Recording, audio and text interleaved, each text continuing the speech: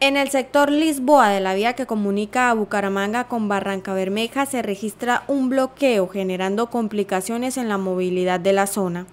El cierre es realizado por transportadores y comunidades que rechazan la restricción impuesta desde octubre del año pasado para el tránsito de vehículos pesados. El principal reclamo es que se permita nuevamente el paso de todo tipo de automotores por esta vía.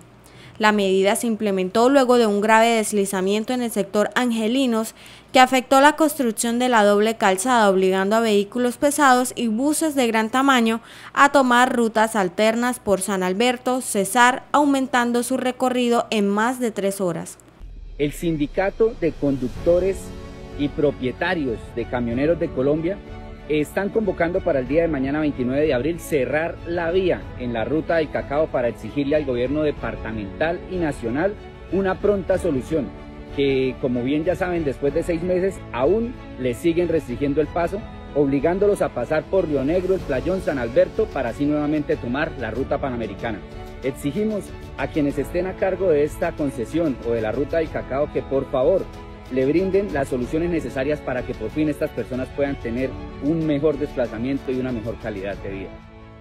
Tanto comerciantes de la vía como conductores de carga denuncian pérdidas económicas significativas, los primeros por la disminución de transportadores y los segundos por el aumento de costos operativos como combustible y desgaste de llantas. Ante la protesta, la Policía de Tránsito de Santander ha recomendado a los ciudadanos tomar precauciones adicionales, pues se prevén demoras y trancones vehiculares en la zona debido al bloqueo. Las autoridades advierten a las empresas de transporte sobre la situación. La comunidad alega que la restricción vehicular impuesta por la concesión Ruta del Cacao ha perjudicado gravemente la economía local y los ingresos de los transportadores. Por ello, exigen una pronta solución que permita restablecer el tráfico normal en esta importante vía regional. Las protestas pacíficas continúan en el sector Lisboa sin visos de una pronta solución al conflicto.